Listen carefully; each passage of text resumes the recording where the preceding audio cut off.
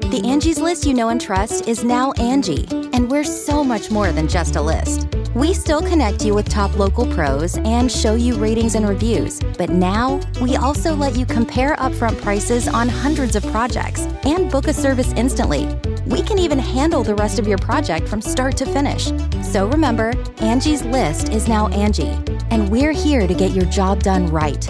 Get started at Angie.com. That's A N G I, or download the app today. Hi, this is Mark Burgess, and you're listening to the Agile Uprising podcast.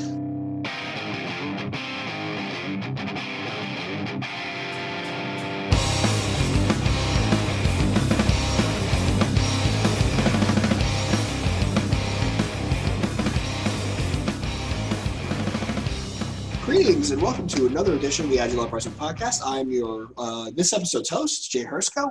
Joined with me is a good personal friend of mine, software developer extraordinaire. Uh, falls into the category of the most bright people I know, one of the most bright people I know, Jonathan Magen. Jonathan, thank you for taking time. It's my pleasure. Thanks for having me at this hour. yes, it is quite early Eastern Standard Time. So, uh, this episode is on the topic of promise theory. So, some of you may have heard of this. Some of you may be looking at your computer and going, What is this we're actually going to talk about? Uh, so, we're going to go in on promise theory, and who better to lead the conversation than the author of the of one, not one, not two, but three books on promise theory, uh, Mark Burgess. Mark, thank you so much for your time. Hey Jay, thanks very much for uh, inviting me, especially at this early hour. I know you guys had to get up super early for this, so I appreciate it. no worries. Uh, a little extra caffeine this early in the day never killed anybody. so, Mark, before we go to Promise Theory, for our listeners that may not be aware of you or know who you are, can you give us a little bit of background? Sure. Where to begin? So, I I, I uh, was raised in captivity as a physicist. I went to university and to study astrophysics originally. I did a doctorate in theoretical physics, and then um, some years later, I, I, jumped ship, so to speak, and went into computer science. So, as is often the case, when you go to work in a new job, you end up setting up the computers, and um, then you acquire the job of maintaining the computers. And this seemed like fun for a couple of months, and then it didn't seem so like so much fun anymore. So then I started writing some software, which uh, some of the listeners might know called CFEngine, which was an agent based um, semi quasi intelligent uh, artificial lifestyle kind of agent system to maintain, manage, uh, manage the state of computers. And this kind of turned into uh, th- this was the beginning of the story of promise theory in a, in a way.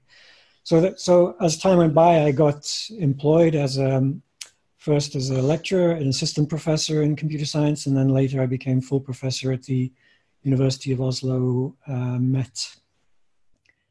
And then I, I jumped that ship as well and wandered off into the wilderness to start a company around CFEngine and uh, eventually have become a, a traveling salesman consultant, charlatan, snake oil salesman, call, call me what you will. uh, that's one way to lure myself in. I've never heard someone willingly refer to themselves as a uh, charlatan snake oil salesman, although Jonathan and I have both come across quite a few in our careers. Um, so, Mark, let's let's start with the you know you started as a you started as a physicist and went into IT, which is completely mind blowing in, in, in, many ways. Um, can you talk about the genesis of Promise Theory? Like, what was what were you doing that kind of sort of stuck in your head that rattled around that led you down this path?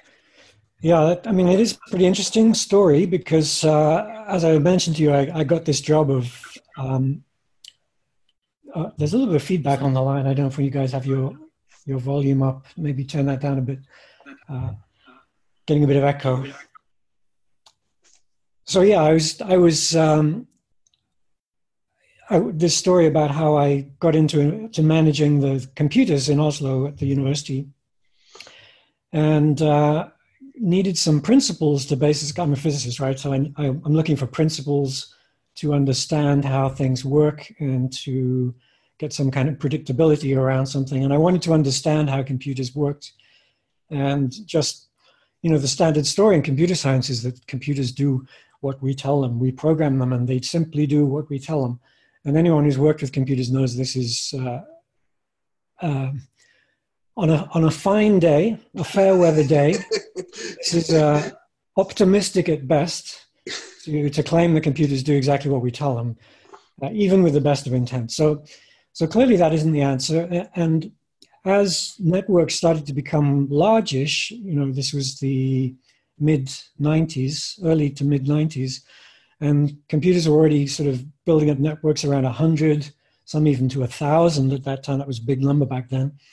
Um, the predictability of, of a single computer is clearly not reflected in a network of 100 or 1,000 computers. So somehow, when you put computers together on a large scale, they start to behave like a phenomenon of nature, uh, independent of the individual programming and uh, low level uh, rules or, or biases that we try to instill within them.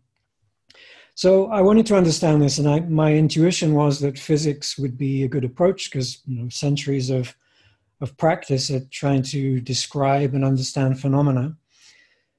So uh, I went about this uh, in my usual way, and as every physicist would do, I tried to apply common tools, differential equations, um, measurements, quantitative methods, all of that standard stuff that that anyone would sort of jump into with a background in physics. And I made a little bit of progress in that. I ended up writing a couple of books. One was called uh, Principles of Network and System Administration, where which was pretty much based on hands-on, dirty, getting your hands dirty approach to managing systems and extracting some principles. And the principles are around things like stability, uh, reliability, um, security, uh, things like this and in a way, it's kind of a best practice approach, which is how most people look at IT even today. But then uh, I was dissatisfied with that, and I started to look at ways of measuring computers, as you would, you know, again, as a physicist, you want to kind of gather data and, and see if, if see if you can even measure phenomena. What can you see in the data? So we started doing a kind of monitoring of all kinds of metrics that you can pick up classic stuff amount of memory used, amount of CPU time used, how many users, and looking at correlations and, and so on. And again, because the network was blowing up at this time, uh, the internet started to spill over into this story. So, uh, client server systems, uh, customers arriving to, or customers a bit early for customers back then, but users of websites starting to come in and, and using services. So all of these things we we still know and love today were were sort of fairly nascent at that point. And I started measuring them, and we saw some patterns. Um, and we found a couple of results. One was that when systems are very, very busy, uh, client server systems do exhibit a, a, couple of patterns. I think we were the first people to, to notice these patterns of of a kind of a, a peak around midday and a, and a, lull during the night, almost a sinusoidal uh, pattern with a couple of bumps and, and interesting features in, in the way. Um, but when systems are very lightly loaded, there's almost it's just noise because you know when nothing happens, everything is unpredictable. Everything is an anomaly. And so we looked for, as again in a physics way, we looked for those persistent trends and we looked for the noise or the anomalies related to those. And and, and sought explanations. And mine, a couple of minor successes around uh, looking at the statistical patterns of these uh, these um, statistical yeah, patterns uh, around client server systems. It was really pretty lame. it was just a shame because you know hundreds of years of, studying physics, and then it all kind of comes to an end when you try to study something man-made. And so I, but I, I worked hard. I, I was putting together a course at the university at this time, master's course in systems. And I wrote another book called Analytical Network and System Administration, which tried to summarize all of these quantitative approaches that I'd used from, from uh, statistics, graph theory, queuing theory, game theory, uh, reliability theory, on and on and on. And having written all this down, I it kind of clicked for me by the final chapter what was missing from all of this, and that was intent. You know, the difference between tools and technology and just natural phenomena is that they're built to do something functional.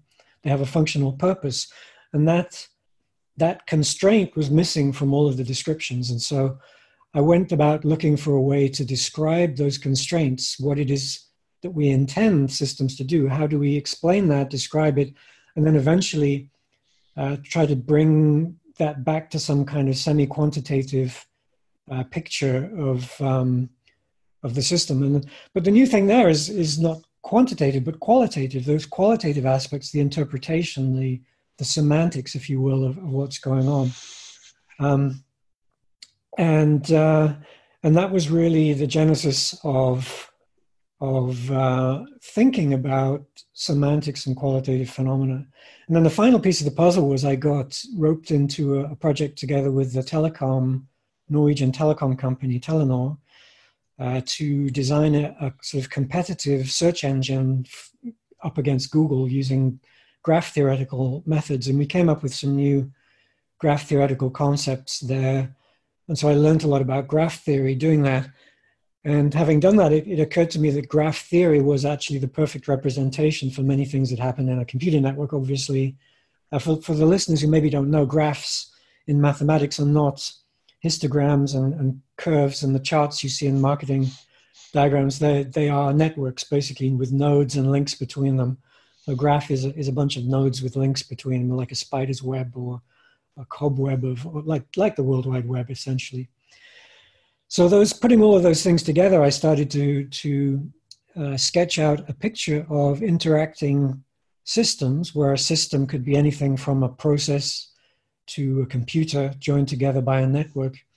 But the thing I'd learned from the quantitative picture, uh, rambling on about this now, but uh, is that uh, you, you cannot separate what computers do from the influence that humans have upon them. Because basically, humans are being driven by their users. They are just input output engines, and the input heavily constrains what happens in the computer in the, most cases, you know, unless it's batch jobs where the, the coupling is light. Certainly, interactive usage places a heavy constraint on what computers do, and they're being strongly driven so as a physicist, I'd look at this and I'd say, oh, it's, uh, it's a forced harmonic oscillator, or it's um, uh, uh, a perturbation of a, of a strongly coupled system of this and that. And you try to model these things. But, but essentially putting all of those pieces together and stirring it in a giant cauldron, uh, uh, since it's Halloween, um, you know, this was, this was kind of the genesis of thinking about uh, computer behavior. And out of that idea came this notion that the idea of promises was actually a, a nice, neat summary of, of this notion of intent. What systems are supposed to do is what they promise. Uh, and we can dig into that a, a, little bit, but but that's kind of how it all came about. That's that's really fascinating. And so if I if I understood you correctly, Mark, it really came out to trying to understand the complexity of, for lack of a better term, the ghost in the machine right? What is the machine doing when it's not being, like you said, heavily utilized? It's trying to put some math around what's going on under the hood. Exactly. Um, and you know, there's this principle in physics which says that uh, if you try to force a system to do something, um, initially you'll you'll see the effects of that forcing, but over time that tends to to splay out and disappear uh, as entropy, if you will. It, it gets mixed in with other influences, and eventually that signature disappears. So you're kind of interested to know to what extent our hum is an individual's attempt to affect the system important, or is it just utterly hopeless?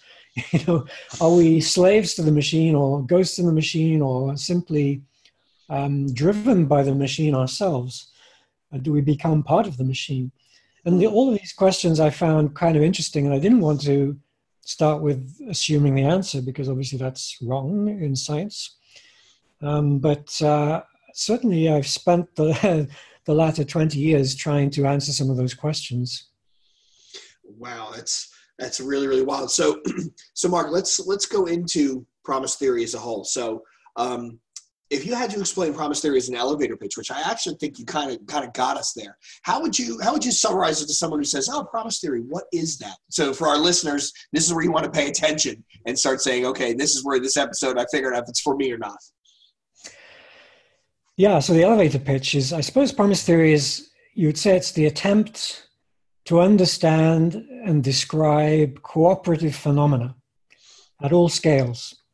And it's a, it's a bottom up approach, it's a local approach, as you'd say in physics. Um, and the starting point is uh, a kind of an algebra of interactions between agents. Everyone is an every, everyone and everything is an agent, whether it's a computer, a machine, a process, uh, a, compu- uh, a person, and so on. And the foundations of cooperation lie basically in communication and the communication used to align systems to a particular common purpose. So, you know, the, so language plays a key role in this, obviously, because communication is important.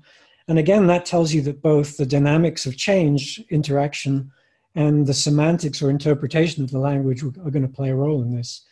So it's an attempt to understand and describe cooperative phenomena, cooperation, if you will. My friend Daniel Mezick, who's also an agile mm-hmm uh, person you, you may well know. He like he he touts this uh, algebra of cooperation as his uh, his uh, favorite part. And that's how I actually came across your name. It's through a through a long interview I had with Daniel, where we actually stopped recording and we went just as long as we what we recorded. Him and I were going on and on and on down the rabbit hole. Um, I really like uh, I don't remember which book it was, if it was Thinking in Promises or Promise Theory, Principles and Applications, but there was a, a, line you had in there which I thought was really insightful where it said, Don't tell me what you're doing, tell me what you're trying to achieve.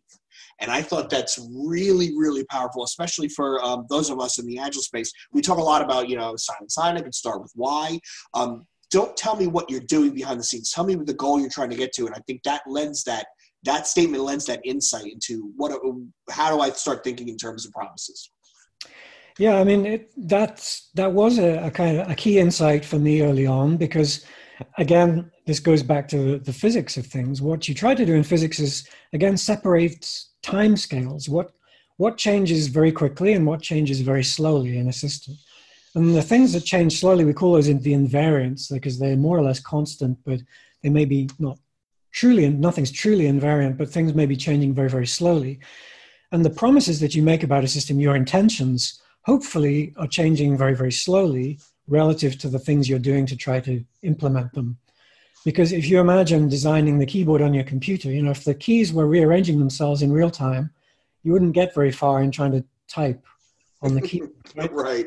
Uh, so you, you need the keyboard to be a kind of an invariant to keep a promise of its stability for long enough for you to be able to use it in a functional way. And so this notion of separating uh, timescales is, is, is super important. And that's essentially what a promise is. It's a quasi-invariant feature of your system. And by identifying those things that, that bring focus to your activities of a long time, you are then able to adapt your, your, uh, your actions, your implementation pathways, if you will, and, and those, those may change for in all kinds of different reasons. You know, your first attempt simply doesn't work. You've, you've got the wrong algorithm, or you're you're you're suddenly being interrupted by an interference process and noise in the system or whatever. Whatever the reason, excuse me, excuse me. Uh, whatever the reason for that um, disruption, you may have to adapt to your environment because the environment is always impinging upon what's going on. But your promise, you try to keep your promise constant, invariant, and so that bring that lends focus to your activities, and uh, and hopefully maintains the the outcome, delivers on the outcome that you promised. Awesome. So, Mark, let's let's talk a little bit about the the structure, uh, the the structure of a promise itself. Um, and I liked it. There again, there was another line in the book that I pulled that I thought was brilliant. Uh, starting with um, no agent can make the promise on behalf of another. I can't promise what you're going to do. I can't promise what Jonathan's going to do. I can only speak to the me and what I am going to do. Yes. This was this is a funny story around this. Is I mean, again, of course, we always start with the physics. That's me. Uh, in physics, we have this principle called locality, which says that uh, things that happen happen close to the body that originates them, and things very far away uh, take some time to travel and get closer to you, so they don't immediately affect you. There's a kind of delay, delayed effect. So things close to you matter most, things far away matter less. Uh, and the the corresponding thing in computers, of course, is that what you or and of people is that what you do yourself affects you immediately. What other people do to you or, or try to influence, bring about an influence upon you, is less important uh, unless they have overwhelming force to actually attack you and subdue you and so on. You know, but but in a in a sort of normal realm of cooperation, uh, agents far away from you, whether people or machines, have less of an impact on you than the things that you promise about your own behavior. So that's one thing. And the other, the funny part of the story is that when, when I was formulating these ideas, I was working at the university. And of course, um, you know, in, in industry, when people try to, to manage computers, they, they do it in an, in, an, in an industrial way, meaning they try to make everything the same, uh, level the playing, just take a, you know, a chainsaw to the forest and all the trees the same height. Um, but in a university, every child is a special child and they all want their own special conditions and they want to do it their way only their way um, you know with a, a, diva singing the song in the background i did it my way and, and academics are like that. They need their own special stuff. And the only way to, to bring about a system with such enormous variation and yet so closely networked together was to uphold this principle of lo- locality or autonomy that each in, individual agent basically manages itself and may interact with others for some services or whatnot, some delegation, but ultimately every every agent responsible for itself. And as I thought more and more about this, I realized that this is actually the ground state, the, the starting default state of any system. Uh, without any anyone else to rely on, you only have yourself to rely on your interior capabilities. And so every agent starts out with a set of its interior capabilities, which we can say are its interior promises, the things it's able to promise to others or offer to others as potentially as a service. Whether it wants to or not is a different question, but you know it has the potential to to make certain kinds of promises, and everything else is a lie, a vicious lie. And you, so you talked, you touched on it as um, one of the concepts in your book, which I also felt fascinating, was the concept of autonomy where you have an you have an agent, a source agent, right? Someone who's making a promise. You have a promisee, who's the recipient agent, uh, the one in the receiving end. Obviously, there's the body, the body of the promise itself. But the assumption is that the agent making the promise, the source agent, is autonomous, and you are. It is a network of autonomous systems, all making promises to one another, and that's how you can. Using that idea, you can also start to understand the complexity inside the system by looking at if each person is just making a promise to another and you can observe that promise that's how you get the lay of the land.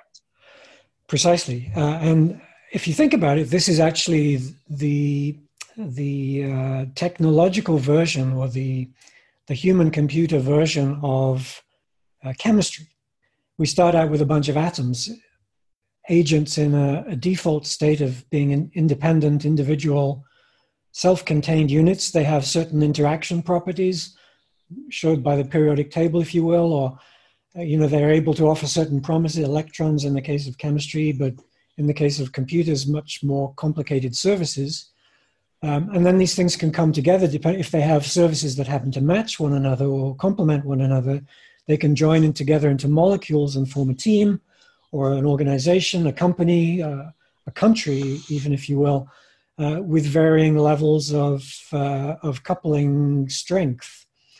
And the way you then try to try to command this uh, this network of interactions and understand its properties as a collective then takes on a new dynamic which is in principle independent of, of what happens on a smaller scale but again that depends a little bit on the, the nature of the coupling and so on and the scale involved so if you go back in the history of how looking at how we try to describe systems, uh, even physics, going to the Newtonian age of which was so incredibly successful at describing the world, it's all based on this notion of, of force, command, obligation, imposing uh, change onto another agent. So a body impacts another body and hits it and strikes it and imparts some force to it. Uh, or I demand that you do this for me, or we impose a law upon you to force you to do this, or I will twist your arm until you do as I say. you know, this notion of force is, is somehow built into our psyche, uh, possibly going way back into history around strongman cultures and tribal associations and so on. The history is kind of interesting, but just on an entirely pragmatic uh, level, this, this notion of force dominates our thoughts. And this is the thing that I observed about this was that this picture of force is absolutely wrong. I mean, we've learned in the 20th century that it's wrong in physics. Uh, this came out of the quantum theory. Um, and even before that, it, the, the study of electromagnetism with uh, charges of both positive and negative um, signs showed us that you know an individual charge by itself does absolutely nothing. It's absolutely impotent.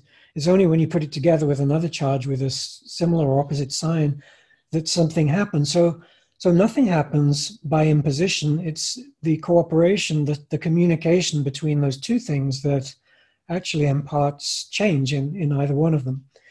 And if you translate this into a more general language and try to strip away all of the uh, special circumstances, you find these very general principles which I imparted into promise theory. And one is that the ground state of agents is that they're autonomous, i.e., they're causally independent. They they do what the hell they like um, initially, and then they voluntarily give up part of that freedom by making promises. So instead of imagining that we decide what we want and we shall make this happen, you know, let there be uh, such and such, let there be light, if you will. This kind of deontic, uh, impositional approach that we assume we can command the universe. And this goes back, I think, to our you know, the construction of our bodies. When we want to do something, our brains command our hands and we manipulate things. So we're used to getting our hands dirty and manipulating things, and that's how we view the world. But it's not really, you know, if you try to manipulate uh, a, a, skyscraper with your hands, you don't get very far um, or a giant rock. Uh, so there are clearly it's there's some cooperation necessary and scales involved, but so but there is this sense that you know initially we start out independent and then uh, because we are localized and causally independent to begin with, we can only promise our own behavior. If we want the cooperation of others, we need their uh, voluntary cooperation as well. We need their participation in that process. So and that is their independent decision. That's their promise to make. I can promise uh, to offer you a service, but you have to promise to accept it. And so for every offer, there is an acceptance. I call these plus and minus, a bit like the charges in electromagnetism I just mentioned, because it's a nice, because uh, then everything, when a, new, when a system's neutral, it's kind of has a binding. And it looks very much like the that chemistry that we talked about initially.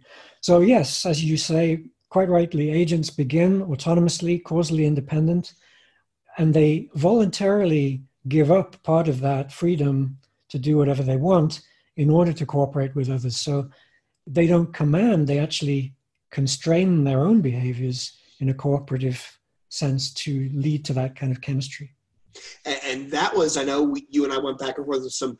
Uh, how is this? How is this promise theory applicable to some of the stuff I see in, in our, in our software world, right? In the agile world, and this is that's where um, it sent my nerd hackles up because I, I think about some of the experiences I've had where, say, Jonathan and I are working on a project and. Uh, we have a um, i'm expecting a service from jonathan to return some sort of data uh, i'm actually imposing on him you're going to give me a service that gives me x y and z and then jonathan like you said he writes it in his own way and it doesn't come back as xyz it comes back as zyx which results in a defect and all this other stuff so that idea of for our listeners that idea of don't assume like and you use the uh, word mark you use the command or the imposition or even an obligation. Don't assume that. If if we tailor our work in a way where i'm making it an autonomous statement of i am going to do this and then the other receiver can say okay well then i will then accept this. It helps it helps take some of the mis like it does does come down to communication the miscues and, and the i think of the time that jonathan and i have wasted in our careers just trying to troubleshoot something where i was expecting it in one way and it, and the end result would realistically be the same if I was open to it, but it came through in something completely different. And that's where a lot of us get hung up over and over again with it's words. Just talk to each other and communicate and make that understanding. And the thing that I've tried to do, you know, again, because I'm a, um, a theoretician and a, a, physicist, I try to formalize this in a way. I mean, you can talk about promises through natural language. Obviously, our natural language is kind of all over the place and, and quite uncertain. There's a lot of freedoms and misunderstandings because it's not very well constrained. But if you want to pin something down to uh, a more predictable outcome, you try to reduce the number of degrees of freedom, the amount of freedom you have. If you can really constrain freedoms to, to a, a bare minimum, then the, the outcome will be far more predictable. And we see this, of course, when we go into a, a fast food restaurant like McDonald's. They will offer you a straight menu of, of highly predictable outcomes a, a cheeseburger, a, a, Big Mac, this and that. And, and you pick this thing, and it's presumptuously the same every single time and so you know what to expect. They are making a clear promise to you, and you are accepting that on that basis. But when we make promises in natural language, oh, yeah, sure, I'll do that. What the heck does that even mean? but actually, in the human realm, you know, our, our world is dominated by those kinds of promises, which are, and I think we actually we actually underestimate just how many promises we actually make in our daily lives on a, on a day-to-day basis You know, we don't think of, we don't actually use the word promise, and we may use the word claim or, or um, offer or advertisement or you know any number of variations on this theme but they are essentially promises expressions of intent. What i claim i will do to you. Reminds me of that uh, i don't know if you guys are monty python fans but there's a fabulous monty python sketch called stake your claim where where the, the it's like a quiz show where people come on the show and they say stake your claim and the first one says yeah i claim that i can burrow through an elephant uh, and the next person says yeah I, we claim that uh, my wife um, i wrote all of shakespeare's plays and my wife and i wrote his sonnets um, which is obvious nonsense you know this is but it's a pro- these things are promises right they, they're actually mm-hmm. promises about what that agent claims to be able to do. And then it's up to another agent or person, machine, whatever, to assess these things in some way. And this is kind of interesting. The human machine connection has become more interesting now in these days of artificial intelligence, where machine learning is essentially doing the job of sucking in data that ostensibly promise something, but what is it exactly that they promise? We mm-hmm. depends who curated those data and and with which intent. From whom did the data come and how were they selected, with which biases, and so on and so on. And then how does the machine process accept, promise to accept those data, treat, deal with them, assimilate them, and respond to them and use them? Uh, how is that assessment made and on what basis? and these these sensitivities to to the biases and uh, peculiarities of agents are now becoming extremely important in this world. And we're only noticing them um, uh, because because we're attributing them to the machines now. But in fact, in the human realm, it's even worse, right? Because um, people tend to uh, judge situations and make uh, judge uh, make judgments and decisions and even govern systems based on a sense of righteousness about what they intended and what everybody else ought to be doing because they did this and that instead of looking at through the lens of what how exactly are they interpreting from their own particular context what do they understand from this and how can we adapt to that cooperative situation uh, just look at politics if you want, you know, an example of that.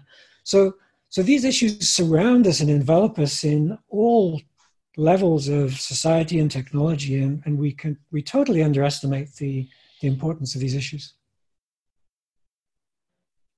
So one of the first of all, that was very interesting with your connection to politics. Um, on the topic, one of the things that really fascinated me about the notation developed in one of your books for promises is that it starts and ends with an agent, the notion of the entity which actually can make a promise or receive a promise. Um, it reminded me very much of the actor model. And one of the criticisms that we hear of the actor model is that uh, actors and messages and so on and so forth do not compose functionally. Does that mean that there's another type of composition? Uh, and if so, how do you describe and what do you call that kind of composition? Wow. Uh, so, for the listeners, I guess uh, the actor model is a, is a programming model in computer science that is actually very promise theory compatible. It, it's whereas I talk about agents that could be humans or machines, actors in the actor model are software processes, functions, or, or machines or entities that can uh, send messages to one another. So the focus in the actor model is, as you point out, um, entities that pass messages, and these messages may be interpreted as uh, commands or promises or services or or potentially other things. Although most things are either a, an, a, a promise or or a, an acceptance of something. A message is, is itself a kind of a promise. So then you have to, to to understand this through the lens of promise theory um, you see immediately, okay, actors are agents and messages are a kind of promise. The, the willingness to accept a message from another is already a kind of basic promise that actors will make to one another. But of course, they could refuse, and that would lead you to, to something like security issues, access control, you know, granting access, granting permission. Um, this is another area, by the way, where um, computer science has utterly failed to model security by trying to use uh, deontic logic and, and modal logics and, and the, the concept of imposition. You must do this, you must not do that, uh, which is utterly impossible to impose upon another agent. Agents will do what the heck they like, a priori. Uh, but in promise theory, you turn this around and you understand permissions by as services granted or not granted by the opposite agent. So it's a it's an act of cooperation rather than a, an act of uh, law. The, you know, Moses didn't come come down and smash a, a clay tablet over the, the head of another agent. It, you actually had to ask nicely, "Would you please grant me this right?" or "Would you would you please deny these rights?" and so on. So this this this notion of causal independence is extremely powerful. It does apply to to the actor model, I I don't fully. I mean, my friend uh, Jonas Bonér from Lightbend, who, who who was worked a lot on the actor model, and is the one of the authors of Akka uh, and Scala. Uh, he's very into this actor model, and he he understands this much better than I do.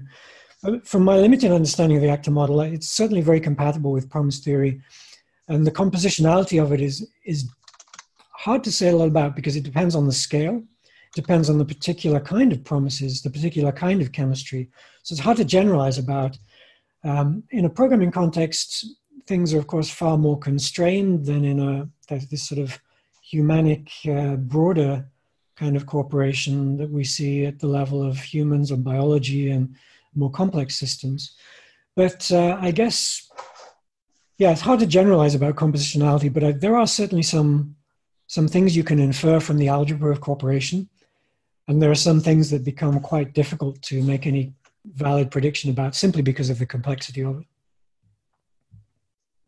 So when you talk about, so I, am fascinated that you mentioned, you know, deontic and modal logic. Does that mean that promise theory doesn't map to a modal logic of some sort, or or is your implication that because it's a failure in computer science, it's not worth it? Absolutely, this was one of the first things that I studied. In fact, I studied modal logics before coming up with promise theory. It was, it was that was part of the road to promise theory. And ironically, uh, as just as I'd come up with the basics of promise theory, I met my now friend and colleague Jan Bergstra, who wrote co-wrote the uh, the first promise theory uh, principles and applications book with me. And he is a logician by background, so he's he's an authority to be able to say the words that I only intuited. But in his words, after a half century, century of studying deontic logic, uh, this field of, of formal logic has come up with absolutely no results. It's simply gone round in circles, uh, proving pointless theorems that get you absolutely nowhere. And it brings about no predictability because you have no way of knowing whether an obligation will actually be responded to Because if you start with this understanding of the causal independence of agents, agents do what they like, only what they uh, choose to do on their own. It doesn't matter if somebody tries to say, you'd better do this or else. If you just don't want to, you don't want to. You might argue that uh, the only sort of human system where people voluntarily uh, choose to act in that way is in, say, military systems. But this, again, we have to understand military systems as systems in which people have voluntarily subordinated themselves to a superior. They have chosen that role for themselves and they can go AWOL at any time of their own choosing. And the coherence of the system, the predictability of it, is entirely reliant on the promises they make, not upon the commands that are issued at the, at the fundamental level. But because you have that freedom in promises, you can simulate some of these deontic models, some of these command based impositional models using promise theory. So our conclusion was that um, the modal logics are, you know, in the worst case, simply wrong. Uh, in the best case, they can achieve some limited uh, explanations of systems, provided you make a lot of assumptions. And promise theory can absolutely represent those. In fact, we show in that in that book with Jan uh, how to reproduce obligations using promises by voluntary cooperation. So that algebra of, of promises actually will reproduce those things. But uh, some of the properties that are, are claimed about modal logic in order to, to make any progress in the algebra are simply uh, wrong, semantically wrong things, uh, like the idempotence of uh, um, impositions, like uh, you must do this, and you the fact that you must must do that is the same as that you must do that and it's kind of a semantic nonsense, but they have to do this in order to form a, a functional algebra. We don't have to assume any of those things in promise theory, which I think is is one of the reasons why Jan has actually become a. He was quite skeptical in the beginning about promises, but he's a complete convert now, and and um, he's even he works on many issues of his own using promise theory. So you mentioned military organizations, and you mentioned the ch- the choice to be receptive, which is in and of itself a promise, as you as you alluded to. Um, I would ask you then, what about consequences, and how does promise theory deal with consequences? Yeah, that's a very interesting uh, question. Uh, consequence. So let, let's try and define what consequences are. Um, consequence is obviously something related to an outcome. So if we think of that an outcome of a promise, say I promise to feed your cat tomorrow, uh, the outcome of that would be that I either feed your cat tomorrow or I don't feed your cat tomorrow. Um, and you could invent any number of other outcomes like I fed your cat tomorrow or I stand on my head tomorrow or um, I buy a dog tomorrow. You can expand the state space of, of the possible outcomes of that promise to any degree that you choose. So there's some freedom there. But if you're trying to focus on this this very narrow issue of the promise and you're trying to align around that particular issue, you try to keep the outcomes, space of outcomes fairly simple, like the promise was kept or the promise wasn't kept, for example. Um, so that's that's one kind of consequence. You could say that an outcome is a consequence but the, the consequence is strictly um, uh, an outcome of a process which is based on the guidance of that promise. So, associated with any promise is, is a process that actually implements or keeps that promise. Without the ability to have a process, promises would themselves be impotent. I think there would be no way of keeping a promise unless agents had agency. They had uh, the ability to do stuff, right? So, so the, the processes, i.e., things that happen in time and with certain amount of interior resources or capabilities, are kind of an assumption behind this idea of an agent that can keep a promise. And this is interesting because this feeds into uh, fundamental descriptions of physics as well.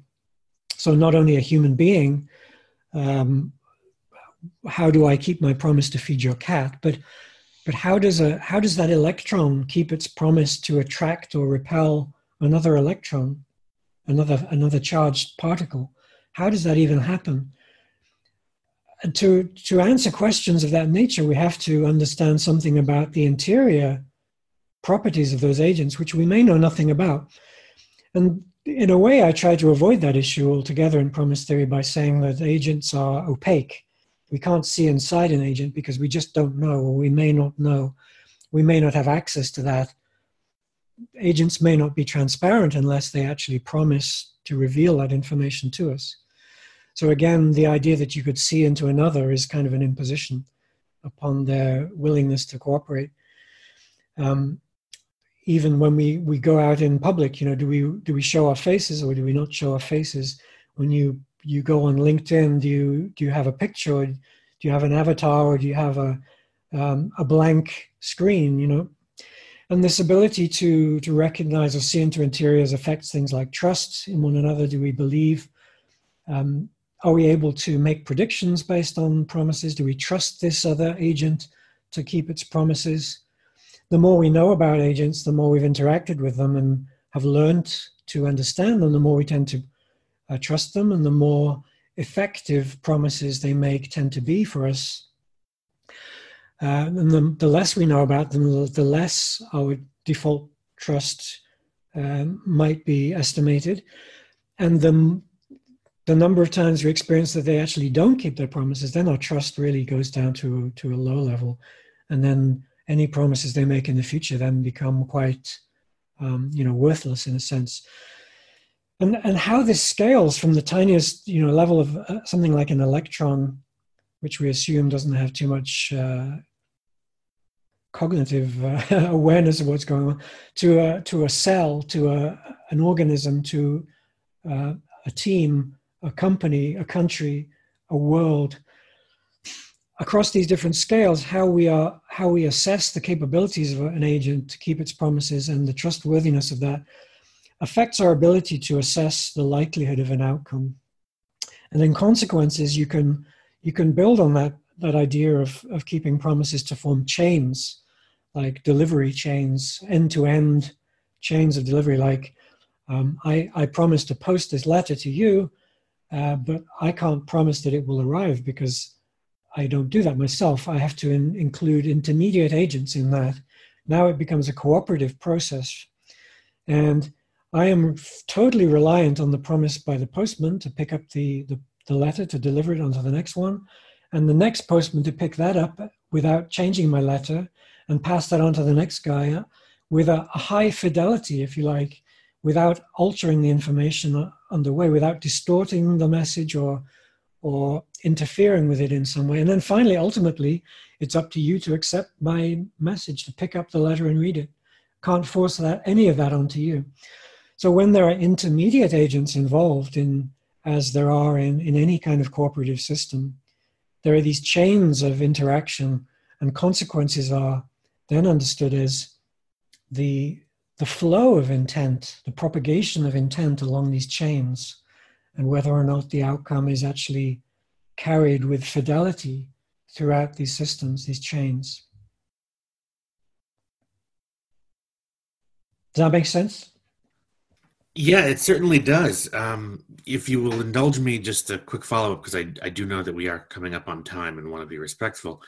Um, you're talking about promises at a fairly granular level, and even processes that we take for granted now, maybe in a company with dependencies on other team members and then teams with dependencies on other teams. You're, you're talking about something that involves quite a lot of promises. Um, is this so first of all the first thing that comes to my mind is something like state space explosion right where you have a whole lot of states which can arrive from a finite state machine, or perhaps the Kripke model, which arises from that finite state machine, just explodes in size. Are we talking about a system phenomenon where there are just way more promises than we realize?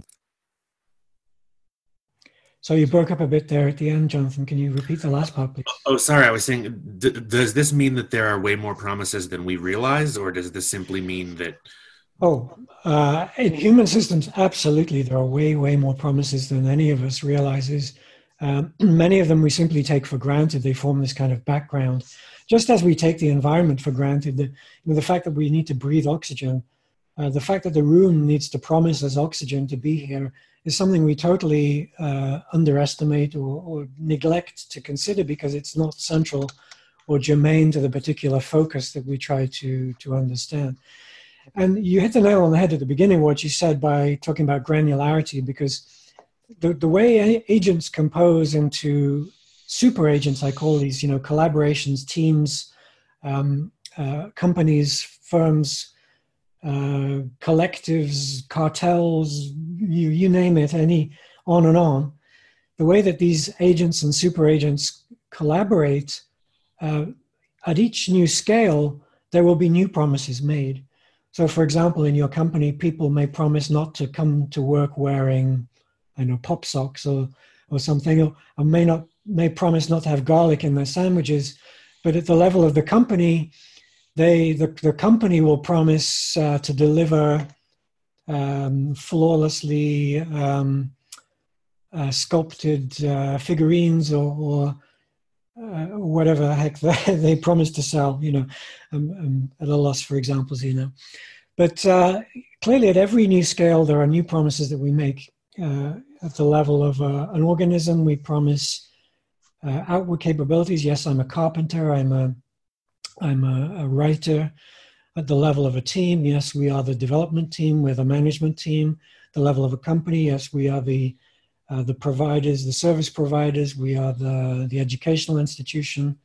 At the level of uh, a county, we are the uh, don't mess with Texas. You know, don't. Uh, we are the the liberal Democrats. We are the conservative libertarians. We are the you know, whatever promises at each scale, there are new promises that can be, which represent the, the characteristics, the internally uh, representable characteristics that can be promised to others.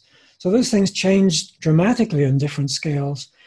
And as you say, as, this, as the scale grows and grows, there is this explosion of the number of possible states and outcomes within that. Now, whether or not that matters to the outcome uh, is an extremely interesting question, and this takes us back to the beginning again of, of, physics, because this is where physics has taught us that the state space of a system is, is not necessarily represented in the possible outcomes of the system.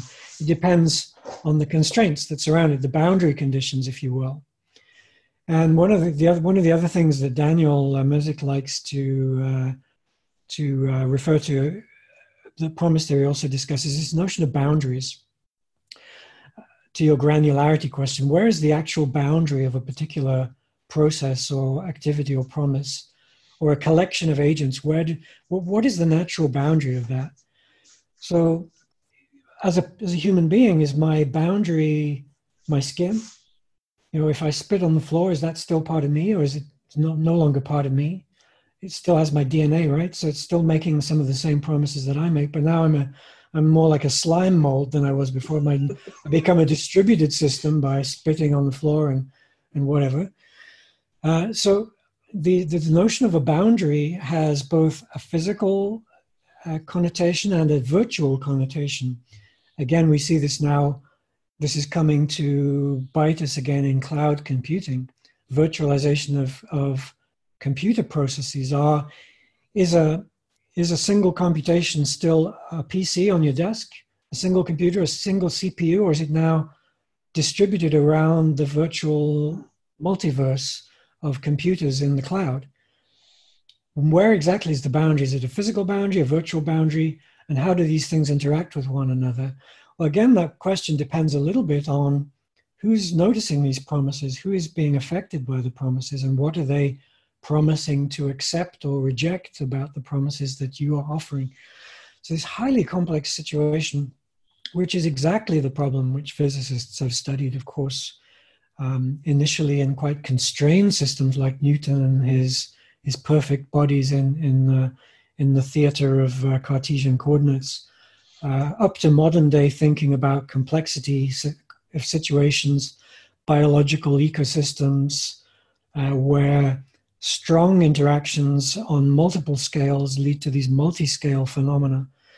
So this is extremely important uh, way of focusing attention on scale in systems, in my view, and the way in which physics and computer science really need to get together to solve, well, first of all, to describe and understand, but then ultimately to solve and describe some of these systems.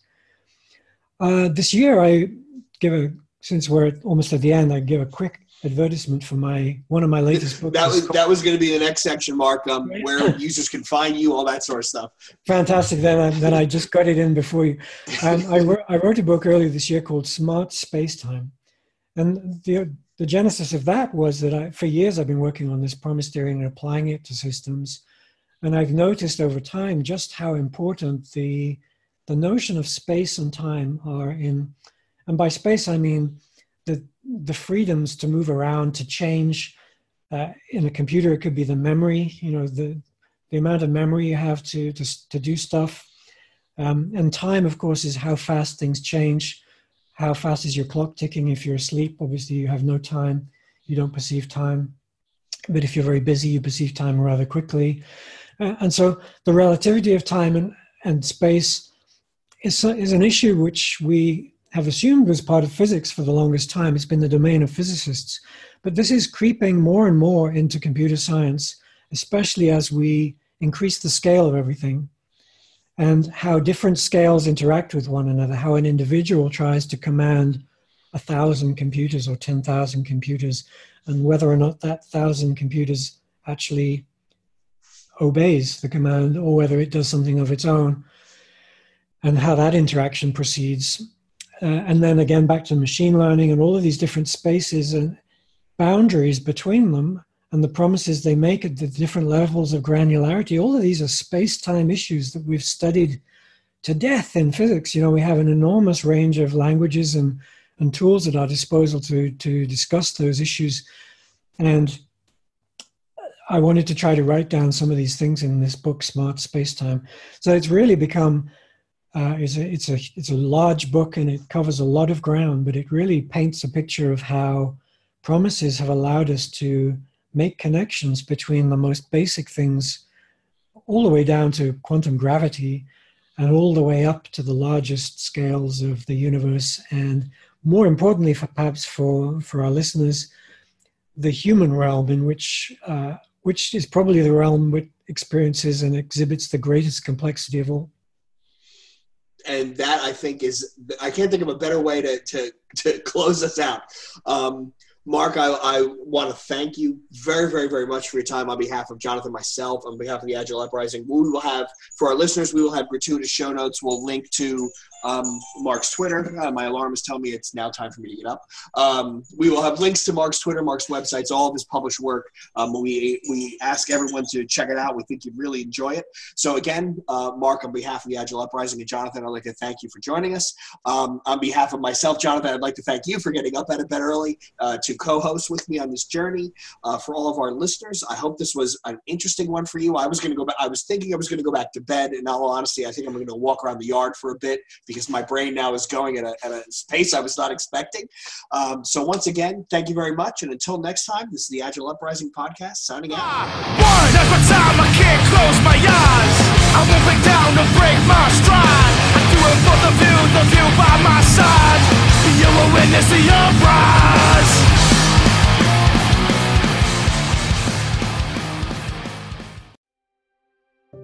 Mazda's most powerful vehicle yet craft every detail. A bold sculpted design. An all-new inline-six turbo. A feeling of everything exactly as it should be. To create more than a car. To create a connection. The first ever three-row Mazda CX-90